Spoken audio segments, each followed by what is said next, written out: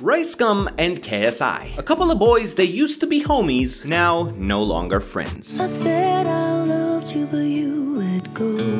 There's talks of diss tracks coming out. Ricegum says he's a better rapper than KSI. KSI has deleted their song together off the face of YouTube. A lot of stuff has been going down lately. And you know on this channel we like to cut things open, pick them apart, and understand what makes everything tick. So today we're gonna take a look at the beef between these two YouTubers, not just how we got here, but also what it means beyond just the surface level. And we're gonna start it all off with...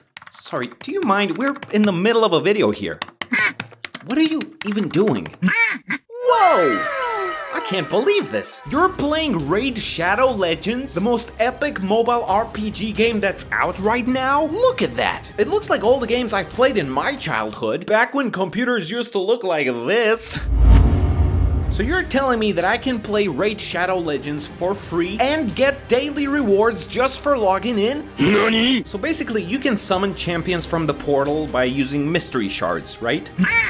you get these champions, you level them up by following the campaign, or you can level them up in the tavern by sacrificing lesser champions. Sorry, my dude, uh, your services are no longer required. So what's happening here? It looks like a lot of stuff is going down. Okay, they've got tournaments where you earn points based on your ranking, and then you get a bunch of cool rewards, like the brand new arena tournament that's out right now as we're speaking. And oh wow, Wilfer, it looks like you're in second place. So this is what you've been doing on your phone the entire time while I've been animating my butt off? There's just one guy beating you right now. This guy, Grim King 21. I don't know who you are, Grim King 21, but just know that we're coming for you. Well, I guess I gotta get the game for myself now, and you can get Raid Shadow Legends and try it out for yourself at the link below, on mobile and PC because the game is cross-device. What? It's free to play, and if you use our custom link below, you get 100,000 in-game silver to get you started, 2 clan boss keys, 10 mystery shards to summon a bunch of champions, and a free rare champion, the Adjudicator. You'll find all your extra rewards up here in your inbox for the next 30 days only. So a big thank you goes to Raid Shadow Legends for sponsoring this video. Now let's get back to our story.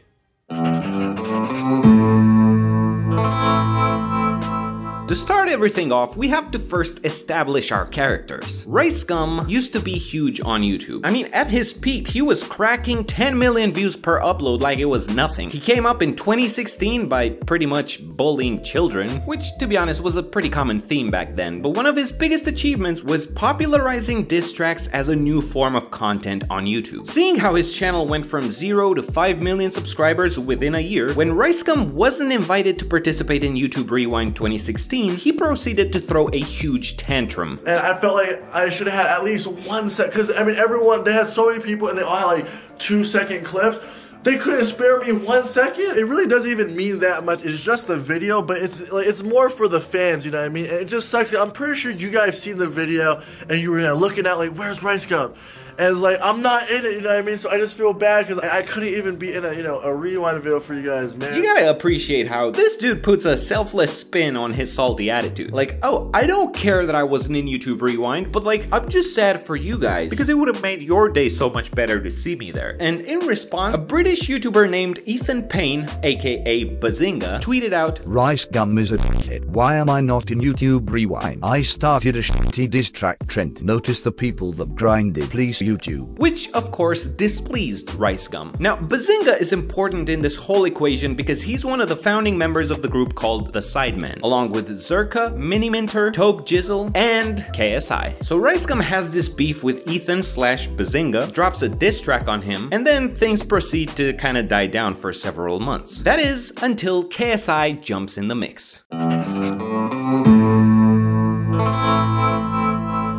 By now you probably know quite a bit about KSI. We've talked about him in previous videos. Biggest YouTuber in the UK, pioneer in YouTube boxing after defeating Joe Weller and Logan Paul, currently having a very interesting surge in the music industry, continuing to push boundaries and redefining what it means to be a YouTuber. But for the purpose of this video, we have to look back at the 2017 KSI before a lot of this had even happened. Around that time, as a founding member of the Sidemen, he was just starting to feel like going off on his own. I I'm no longer with the Sidemen. According to a later video from KSI, this announcement was half meme, half truth. But while his friendship with Behzinga hadn't actually ended behind the scenes, it looks like KSI really did want to forge his own path. He flew to Los Angeles temporarily living in the Clout House with Ricegum of all people. And by his own admission, he had all the intentions of making the move to Los Angeles permanent. I wanted to switch things up. I had some discussions with Rice and Banks, and you know, I was actually really interested in joining Clout Gang. Like, I know a lot of people have told me if I want to really further my career, a good way to do that is to live in America, live in LA especially. So, like, this was a serious debate in my head, like, no joke. So right now we have Ricegum beefing with a member of the Sidemen and KSI leaving the Sidemen and moving in with Ricegum. And uh, you'd better hold your horses because it's about to get really confusing up in here.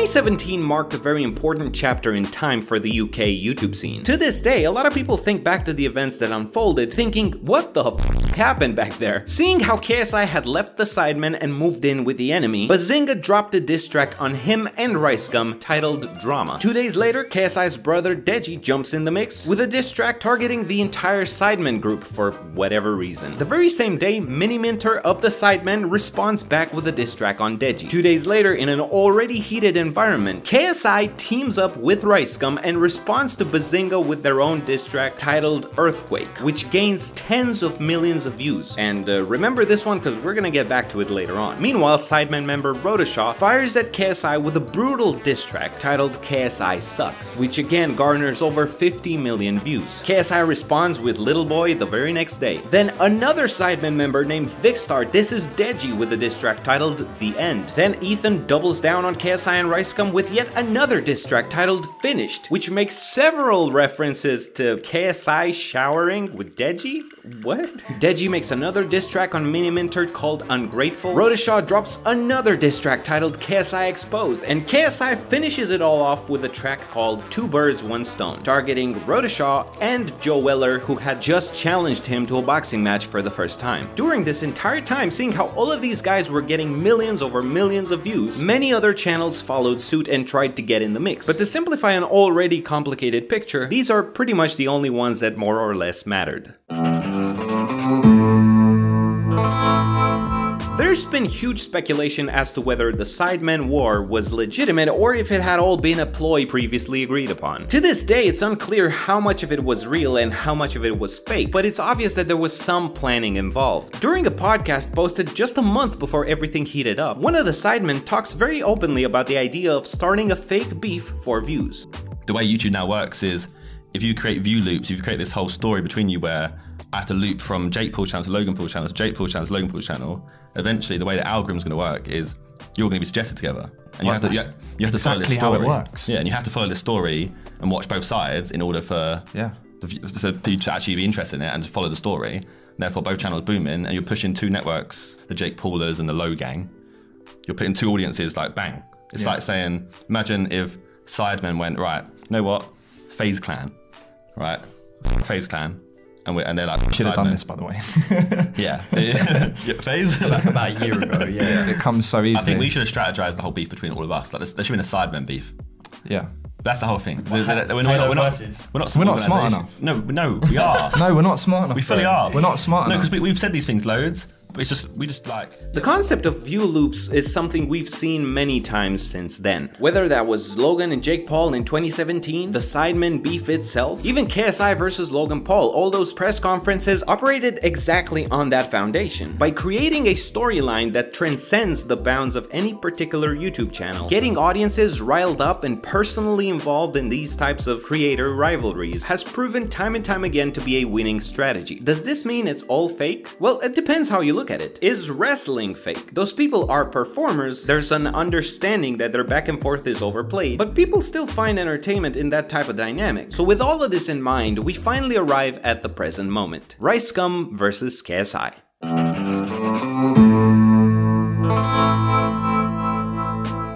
How both Ricegum and KSI have been involved in a view loop dynamic before, why would it be any different today? Ricegum calls KSI petty for not allowing him to hang out with Logan Paul. KSI petty, bro. He just possessive and clingy. Like, why can't I have other friends? KSI responds by taking down their 2017 diss track on Behzinga. Again, I'll show you how much I don't give a f- Okay, uh, I understand.